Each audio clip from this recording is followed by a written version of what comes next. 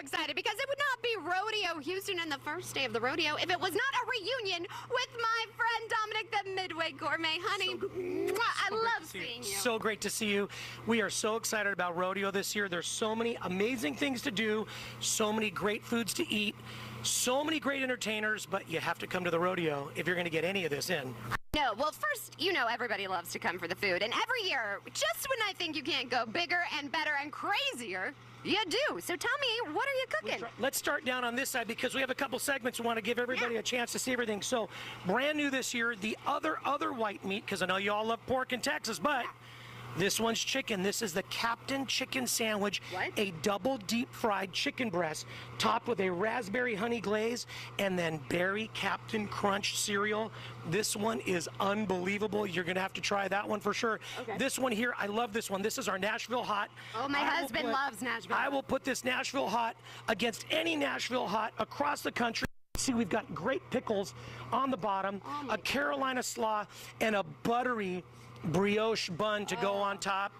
Of course, we've got turkey legs, and then this one here. I love this one. This is new this year.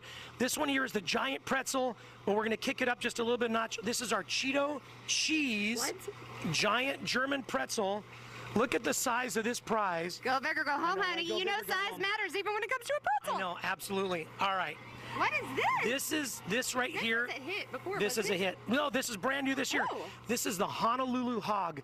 This is a Hawaiian inspired. This is a pulled pork, giant one and a half pound baked potato with pineapple, pulled pork, a sweet teriyaki glaze, and sesame seeds, all in a giant baked potato. You get all that flavor, just keeps mixing in, and you just keep eating it all the way down to the bottom.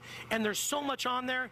This for sure is for a family to split for two. So, are you guys going cashless? I know a lot of people were asking me about that. So, we're, uh, so the food is not 100% cashless, but I will tell you we have all kinds of options for our customers to pay.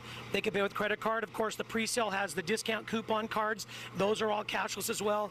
And of course, we take credit cards and we take cash, but you can come and you can spend your money any way you want. Just come and bring it, right? Oh, yeah, bring that money, honey. Well, we are going to be bringing you more food after the break. We're just getting started, and I'm going to taste something, too. I have my eye on pickle pizza, maybe. So stay tuned for that, and then you're putting me on a ride. I hope I don't get sick. Absolutely. We love riding it for sure. For sure, it's a great one. Too.